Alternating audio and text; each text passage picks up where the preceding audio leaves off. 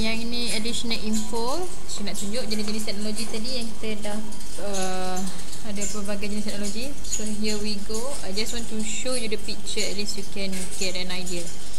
Alright this one teknologi peralatan. Ha yang ni.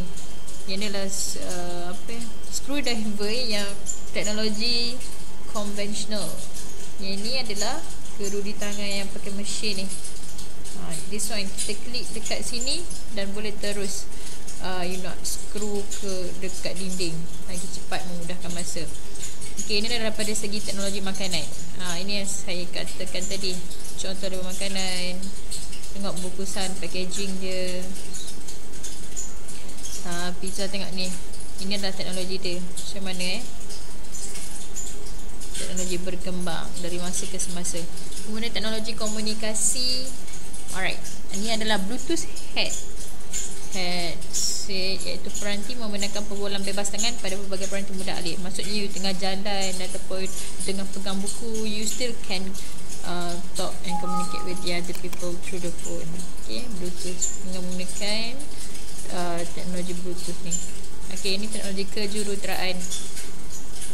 Uh, yang contoh-contoh dia aplikasi mekatronik juruteraan kimia kimia jurusan kimia ni kita boleh lihat pada uh, penghasilan minyak wangi. Ha, minyak wangi kita ada alkohol dan kita ada dia punya essence essence yang tertentu dan yang boleh create perfume. Ha.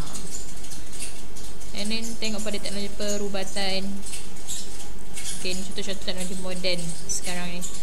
Uh, ni adalah peralatan yang boleh membantu doktor dalam mengobati pesakit lah dengan cara yang lebih cepat uh, dan sharp.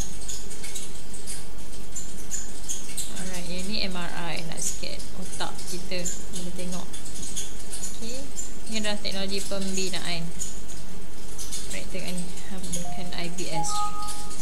Do you search what is IBS? Okay, try to explore. Alright ni, container. Container ni kan daripada yang uh, kapal-kapal bawa container barang-barang import uh, and then dia orang jadikan rumah. Dan juga ada macam the cabin.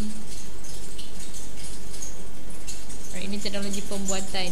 Okay, tengok ni gambar ni. Sistem automasi. Dia gunakan bagi masyarakat produk lebih kemas dan cepat. Ini dia nak buat apa? nak buat kereta kan? Nak body.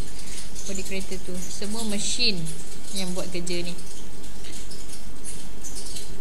Ini teknologi pengangkutan see dia charge je hybrid car. Hmm, dia charge je dan terus dah boleh jalan tak perlu sekejap. This one kereta api electric very fast save our time. Alright I think that's all. Thank you